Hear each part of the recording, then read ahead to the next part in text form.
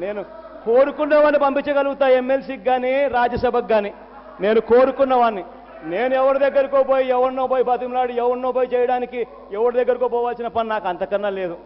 అది ఎవడో తెలియని వ్యక్తి ఆ మనిషి ఎవడో నాకు తెలియదు మీరు మాట్లాడేదేదో మాట్లాడేది. ఇంకా నయం రేవంత్ రెడ్డిని కూడా నేనే పంపించినాను.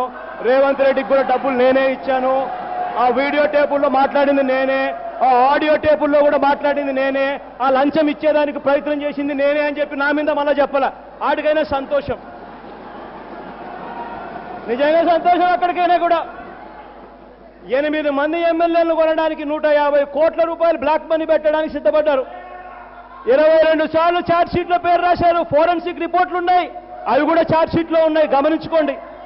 అయినా కూడా ఈ టాపిక్ ఎందుకు వస్తా ఉందనంటే ఇవన్నీ ఉన్నాయి కాబట్టి కేసుల నుంచి తప్పించుకునే దానికోసమే ఇవాళ ప్రత్యేక హోదాను పనంగా పెట్టి మోడీ గారి ముందు సాష్టాంగపడ్డారు ఇదే చంద్రబాబు నాయుడు గారు అని చెప్పడానికి ఈ నేను కోరుకున్న వాడిని పంపించగలుగుతా ఎమ్మెల్సీకి కానీ రాజ్యసభకు కానీ నేను కోరుకున్న వాడిని నేను ఎవరి దగ్గరికో పోయి ఎవరినో పోయి బతిమలాడి ఎవరినో పోయి చేయడానికి ఎవరి దగ్గరికో పోవాల్సిన పని నాకు అంతకన్నా లేదు. ఎవడో తెలియని వ్యక్తి ఆ మనిషి ఎవడో నాకు తెలియదు మీరు మాట్లాడేది ఏదో మాట్లాడేది. ఇంకా నయం రేవంత్ రెడ్డిని కూడా నేనే పంపించినాను. రేవంత్ రెడ్డికి కూడా డబ్బులు నేనే ఇచ్చాను.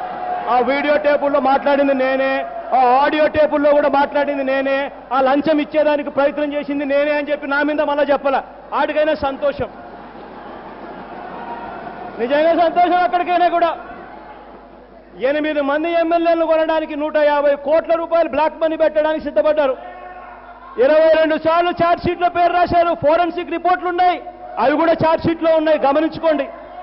అయినా కూడా ఈ టాపిక్ ఎందుకు వస్తా ఉందనంటే ఇవన్నీ ఉన్నాయి కాబట్టి కేసుల నుంచి తప్పించుకునే దానికోసమే ఇవాళ ప్రత్యేక హోదాను పనంగా పెట్టి మోడీ గారి ముందు సాష్టాంగపడ్డారు ఇదే చంద్రబాబు నాయుడు గారు అని చెప్పడానికి ఈ టాపిక్